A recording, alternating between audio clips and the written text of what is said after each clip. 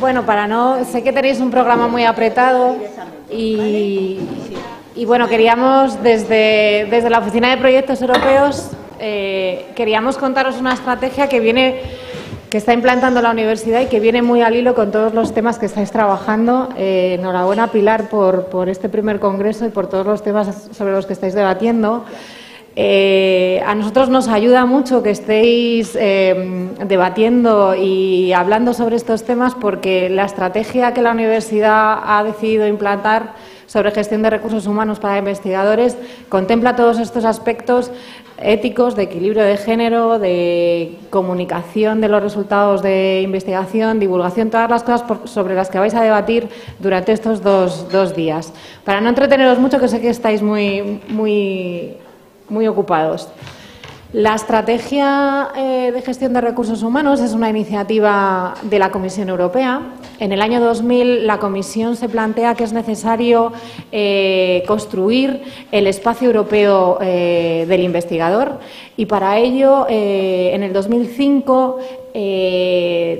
Mm, redacta o mm, pone a disposición de todos los ciudadanos europeos lo que llaman la Carta Europea del Investigador, de la que nos ha hablado la profesora eh, Regina de la Universidad de, Oporto. Esta Carta Europea del Investigador recoge 40 principios eh, fundamentales eh, que especifican los derechos, deberes y funciones tanto de investigadores como de entidades que contratan investigadores. A partir de este documento eh, se crea también otro documento que se llama eh, el Código de Conducta. Este Código de Conducta va dirigido a las instituciones que contratan investigación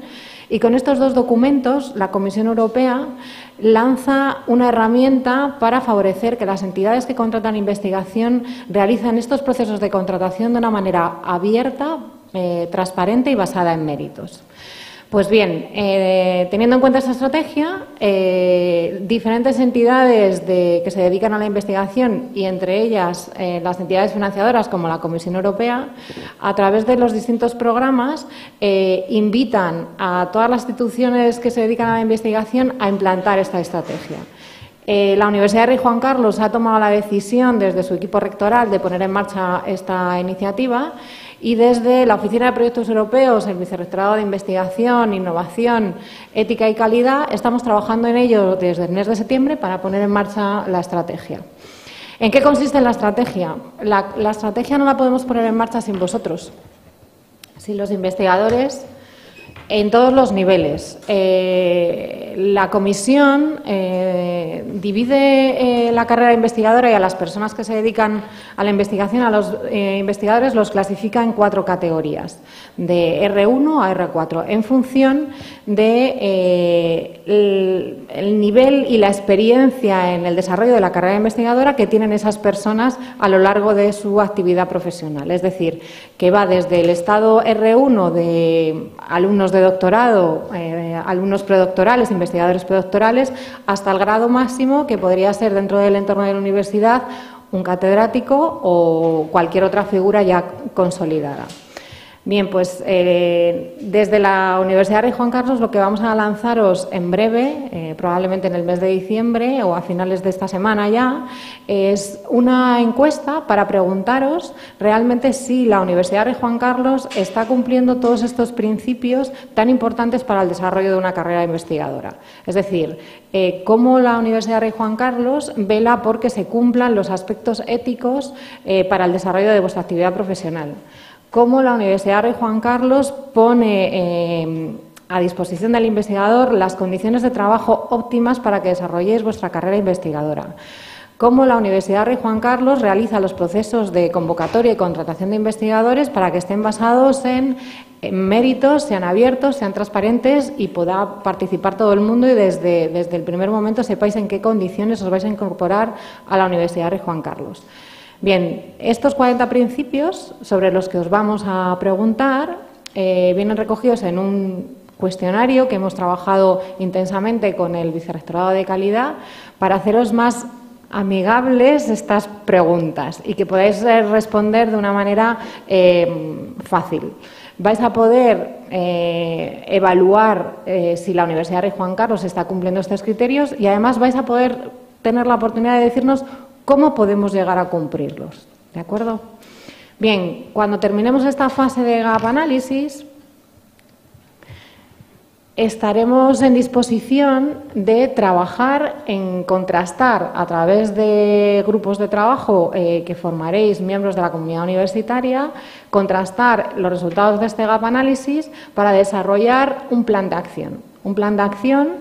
que, la, que será alcanzable y que será realista, que nazca de vuestra participación y de vuestra opinión, en el que la universidad se planteará los objetivos a cumplir en un horizonte de dos años para eh, mejorar todos aquellos criterios que ahora mismo nos hayáis dicho que no eh, cumplen con los requisitos eh, necesarios, con el estándar mínimo requerido. ¿De acuerdo? Pues bien, una vez que hayamos eh, acabado el gap análisis, contrastado con los grupos de trabajo esta información y elaborado el plan de acción, eh, estaremos en disposición de decirle a la Comisión que hemos eh, cumplido hasta la tercera fase de esta estrategia que la, Comisión nos plantea implantar.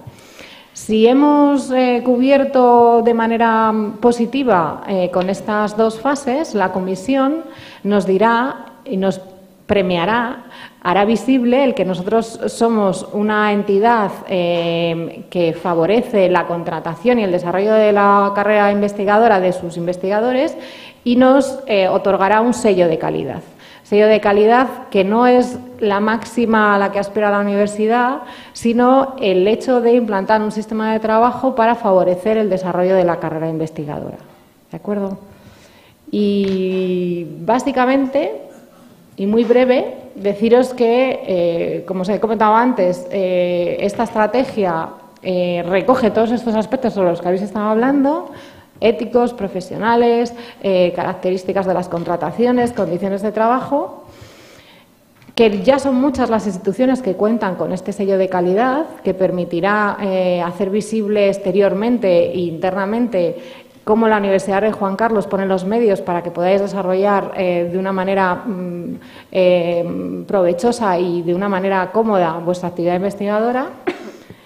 y que eh, bueno, queremos formar parte de este grupo de instituciones que ya cuentan con el sello porque es eh, importante no solo para la concesión de futuros proyectos eh, a nivel internacional, sino también para implantar eh, estas buenas prácticas en la gestión de proyectos nacionales. Y no os entretengo más, que tenéis mucho que hacer. Eh, si tenéis cualquier duda cuando recibáis el cuestionario, eh, tanto Marian como yo, desde la Oficina de Proyectos Europeos, estaremos encantados de, atenderos. Y igualmente, si queréis participar en darnos vuestra opinión sobre, sobre esta estrategia y participar en, el desarrollo del plan de acción, estáis más que invitados a participar. Muchas gracias a todos y, gracias, Pilar, por dejarnos este hueco. Agradeceros a vosotras vuestra participación y, habernos dado este espacio al Congreso para, para enseñarnos esta propuesta tan interesante que creo que, de cara a todo el que quiera dedicarse a la carrera de investigadora es tremendamente importante y es fundamental. Pues muchísimas gracias a las dos. ¿eh?